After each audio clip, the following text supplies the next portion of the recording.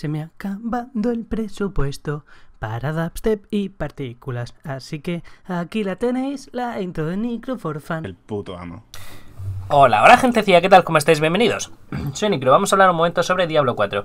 Para quien no lo sepa, eh, estamos a mitad de la temporada 2 y para celebrarlo Blizzard hace dos cosas. Ya lo hice la temporada 1, lo cual me sorprende, pero lo repite. En primer lugar, y aprovechando Black Friday, vais a tener una semana para jugarlo gratis en Steam hasta el 28 de noviembre y solo, y aquí es donde está el matiz que lo han tenido que explicar después, hasta nivel 20.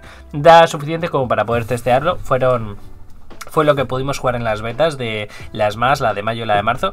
Y bueno, es suficiente para probar un poquito los personajes y ver qué tal. Acompañando el hecho de que te dejan probarlo durante este tiempo, tenemos un 40% de descuento en el juego. El juego, con tan solo 5 meses, ya lo tenemos a 40 euros.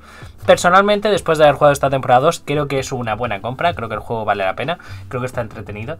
Y bueno, entre qué opción coger, suponiendo que lo queréis comprar, yo creo que dado que ya no vais a comprar la el Early Access, la única que vale la pena es la más barata. ¿De acuerdo?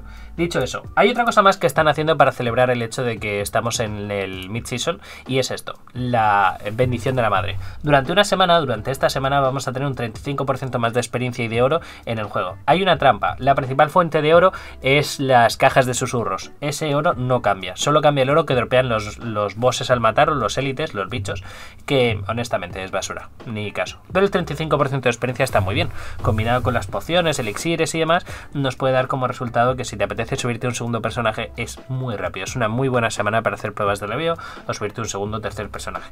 Tened en cuenta que... Eh, estos eventos terminan, si no me equivoco, el 27-28 y el día 5 tenemos parche donde se mete un cambio en el crafteo y el día 12 empieza el evento de Navidad, con lo cual aquí le apetezca tanto aprovechar la prueba para ver si le convence como comprarlo con el 40% de descuento, como subirse un personaje, pues parece el momento idóneo para todo ello. Va a entrar un nuevo boss de endgame llamado Overlord Thir, que si no me equivoco entra no sé si el 5 de diciembre o el 12, creo que el 5.